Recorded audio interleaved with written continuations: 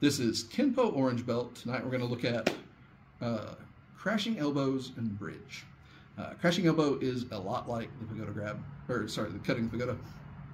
It's very similar. It's again, instead of from the top, it's from the straight. It's it's the same basic idea of getting out of the way of the strike and attacking in a different direction.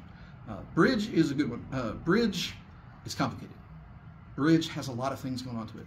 It's one of the originals that Ed Parker did back in the 50s. There's some lovely videos of him doing it. Um, it's a little more complicated than he did it. There's like one or two extra strikes.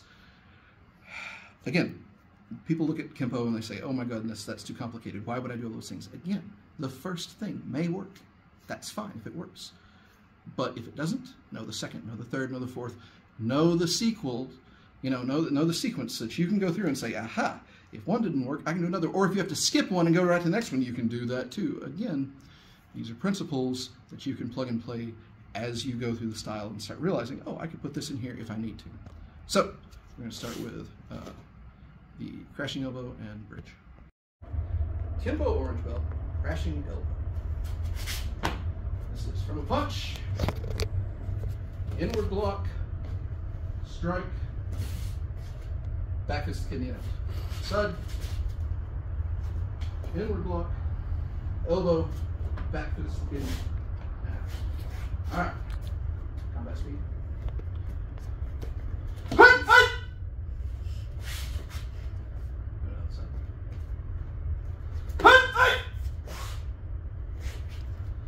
Fast. All right, let's talk about why it's fast, because we're already moving. All right, so when she punches, the big thing is, is I'm doing this. Now, if you step straight into the punch, you're going to die. like that's a bad thing. So we're not stepping straight in. As she steps straight in, we step slightly off. And just like any good boxer, any good fighter, we're going to slip the punch. Get your head out of the way. You might miss that block. It's a good inward block, or even a fast inward block. Boom. Either way, whatever you can get, move your head just in case. Now I'm already turned my body, so I'm, there's the wind up, and here is the strike. And again, strike all the way through, so I wind up, and boom, strike to the back. Where are the kidneys? The kidneys, to make them hurt, are in this area. If you hit here, a shoulder blade, won't hurt. If you hit here, especially a fat guy like me, that's a love handle. You can smack my fat all day, and I'm not gonna like it. What if you miss? It's a fight. Oh my goodness, you didn't target correctly. Fine, it doesn't matter. Hit them, do something. Smack them and get out. But if you can, aim for the kidney because if you get a solid shot on it, they will feel it on the side. So again, I've got this, I've slipped, slipped my head just in case. Push that elbow all the way through those short ribs, and then all the way back here, boom, and then back out. Not my ribs. Yeah. That's so where am I hitting? Again, right in here. Right there in those short ribs. It hurts. All right. This is an excellent move for a small versus a big person. For the simple reason that, again, she's going after my ribs and she can get up under those real easy. All right, so I'm gonna try small versus big. Right. Right hand punch. Do that inward block. You ready? Good. Very good. Oh, I got a bit. Let's do the other side. Oh, God, that hurts. I don't like that. None of that's fun. And it's definitely going to slow me down and make me think, maybe I don't want to punch this person. In any case, whether the strikes work or not, I want you to, I'm to punch you. I'm to punch you. Now, your goal is to slip your head and do the block. Everything else is just straight up. Okay? As long as you prevent yourself from being punched, you've won. You ready? All right. Ugh. Yeah, you were worried about that. You're on the other side. I'm gonna punch you. Ah, yeah, good pal. That was my love handle you just hit. Aw. You ain't got that all day.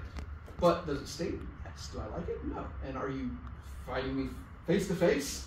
Uh, no, you're not. You're fighting me back here. I have to turn and do something. In which case you can run, get away, kick me, whatever you gotta do. Yes. So one more time as you punch. Remember, slide, and get your whole body to the side. Go, go. Boom, boom. Yeah. let's talk about real quick. She's holding her hand out. She's being real nice. Everybody's saying right now in internet land, like I can hear, I can hear them in internet land. They're saying, ah, nobody stands and you know punches and leaves her hand out. They're gonna pull it back. Okay. Punch like you would and pull your hand back. Did it help you?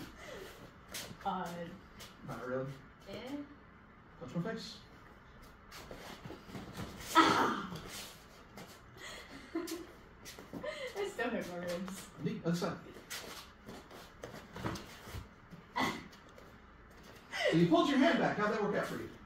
Nope. You have to be fast. You have to be able to do this quickly. You have to practice this, right? So that is the downside of the system.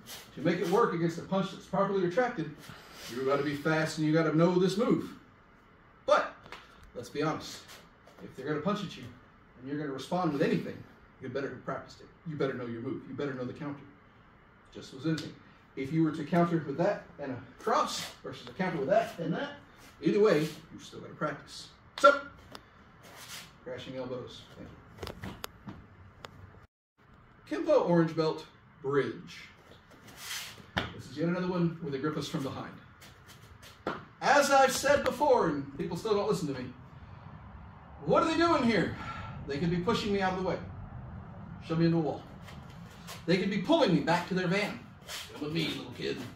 They could be choking me. Now, real talk, she's too small to choke me with two hands. I'm not. I can choke her pretty darn good. So understand that what might not work for you may very well work for someone else. In any case, it doesn't matter because I'm going to get a hand on those thumbs and make things happen. You ready? So again, she's grabbed me. I'm gonna step forward and I'm gonna pull her to me. Just like that. I've got a hand of thumbs. I'm gonna break this down. Extend, break. I'm gonna step under, just like this. From here, I've got the arms twisted.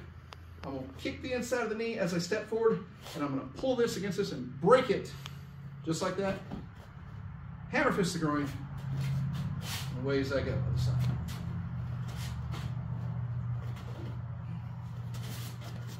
Huh!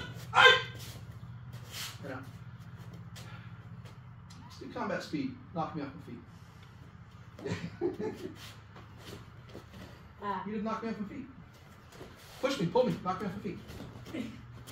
Ah, it's ugly now. But as soon as I get the hands, what happens? Boom. Doom. Oh no, I messed up. That's okay. Now, this is what I was talking about. I messed up. The first break didn't really happen.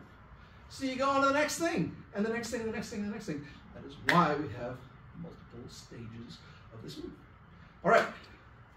I've already shown that I can choke you for this. So, let's work big bird little.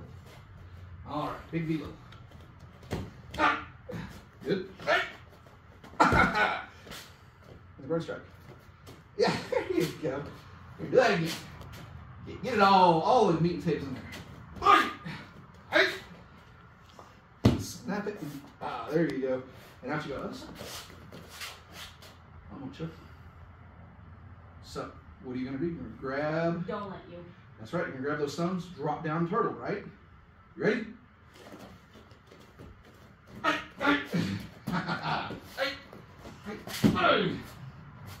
Good. Let's talk about each move real quick.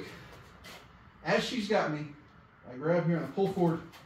There's a break right there. As I come here, there's a break right there. You feel that? Yeah.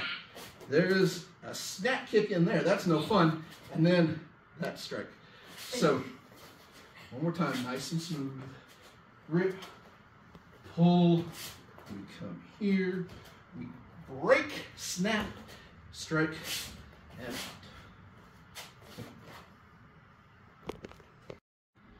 So this was Kenpo Orange Belt with crashing elbows and bridge.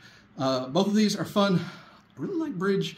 It- It's an older one of the moves. It, it goes back to you know when Parker was really doing the stuff in the 50s, and you can see some uh, the the evolution of it. You can still see it and go, what I did versus what he did. It's like, ooh, that looks pretty cool. If you're like, I don't like it because it's too complicated. Okay, cool. do one part of it, do two parts of it, do part of it, you know, but do something if you're getting grabbed from behind. Uh, same thing with crashing elbow. I really like that one. It's straightforward. It's a it's a good way to practice that that tap and get your head out of the way, that slide out of the way. That's the most important thing because if they're not hitting you, you have a chance. If they've punched you in the face, well, everybody's battle plan changes once they get hit in the face. All right, practice that. If you still don't like it, well, come to class. We'll work on it. Other than that, stay safe. Thanks.